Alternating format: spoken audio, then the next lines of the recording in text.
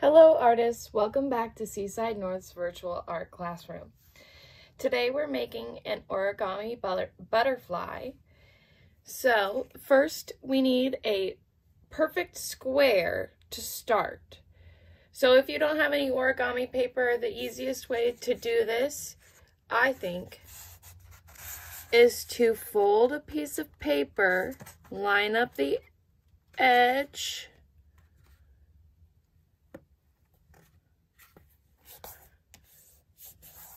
crease that. And then cut off the bottom, even with that top edge. And I don't need this piece. And now I have a diamond. So that first fold, I'm gonna recrease it. You can do the same. Okay, so I open it back up and now it's a diamond with the crease down the middle. I'm gonna fold the bottom corner up to the top corner.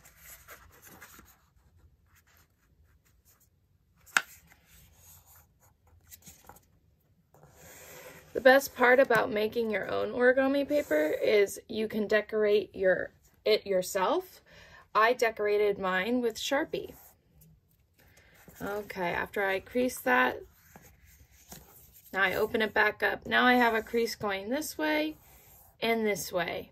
Now I'm gonna bring the bottom two corners up to the top two corners and make a rectangle.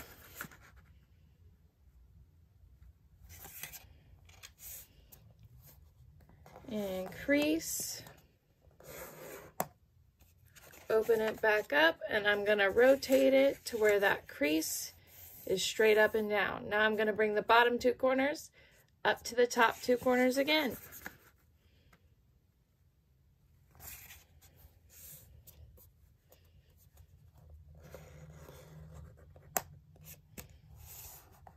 After I crease, I open it up and I make it kind of like a pyramid.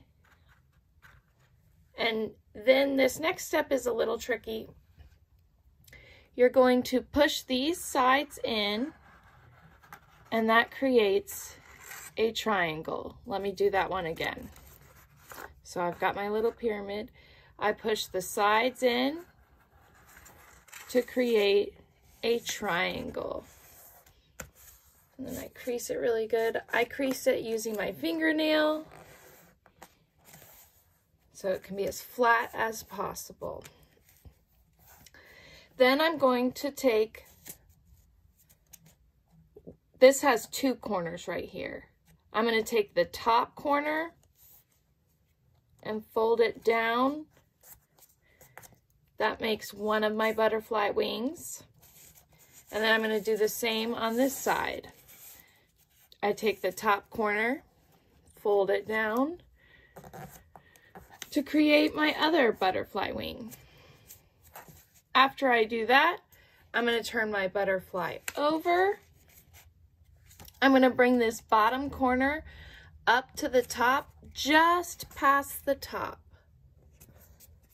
Uh, give it a good crease.